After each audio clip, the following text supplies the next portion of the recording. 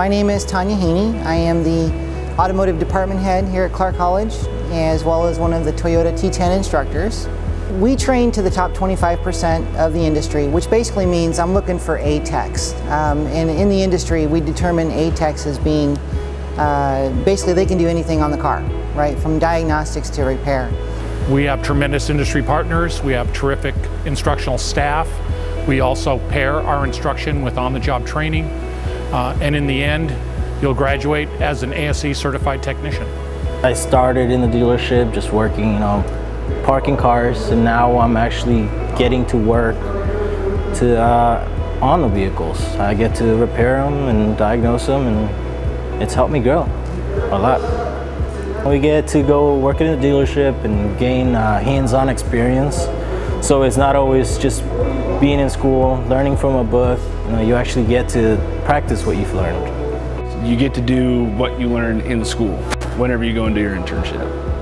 That's probably the best part of it. The automotive field is continually changing, and that's one of the reasons why I, am attracted to it is because it's constantly evolving. The technology that's in there, you know, these thing, things that are the cars are doing, we wouldn't have dreamed of even five years ago. Ten years ago, your cruise control was an option, and in five years, autonomous vehicles will probably be the standard. It can be therapeutic for me um, at times, um, getting to use my hands and my mind. Um, and I'd say diagnosing um, is, is, probably the biggest favorite of mine. What drew me into the T-TEN program was um, if you do a little research uh, online, they uh, really have uh, high accolades and a lot of awards here. I've learned a lot more than I ever thought I would, and it's all because of the instructors they're not just talking just to be talking, they're actually talking and teaching you something. Clark has done an amazing thing with the Toyota program. They've brought it up to an industry standard that's just steps above other colleges in the country. What we're doing now is we're going to do the same thing with the Honda program.